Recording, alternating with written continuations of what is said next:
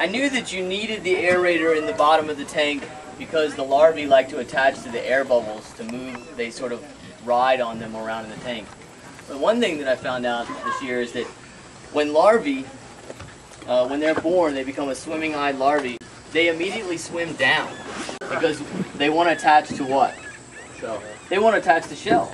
So oysters go on the bottom, so the larvae instinctively swim to the bottom. So the bubbles help push the larvae up into the water column. So this afternoon what we're going to be doing is we're going to wash some shell, we're going to get the sediment off of the bag shell, load it into the truck, drive it over here, and then we're going to take all of this shell and put it in here and get it ready. On Sunday, we'll fill it full of water, and on Monday we'll put the larvae in.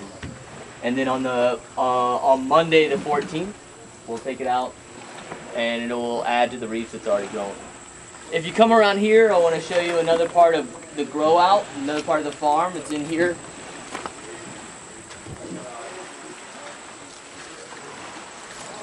Uh, obviously, this is very small scale.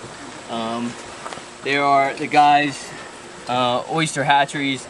They have millions and millions and millions of seed growing, but water is entering in the tank here and goes to the bottom, and then the only place to go out is that pipe.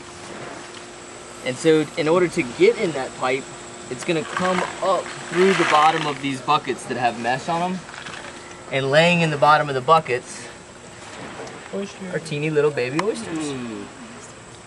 They I are so cute. Eat that one. 20 years. Probably two uh, years. They, these guys right here, they're gonna double in size in the next 10 days. Okay, no mind. Probably about a year. Uh, and they grow exponentially fast when they're young. Why do you think that the oysters want to grow really, really fast when they're babies? So they don't Survive. get for, for, exactly, survival. Uh, right now, these are very susceptible to predation. It's like, it's like candy.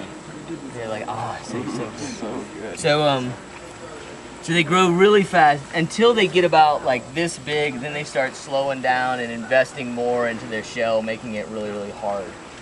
Um, so these guys will grow in here, and then we're to put them in bags, and then when they're big enough, we'll put them out into the cages. So, um,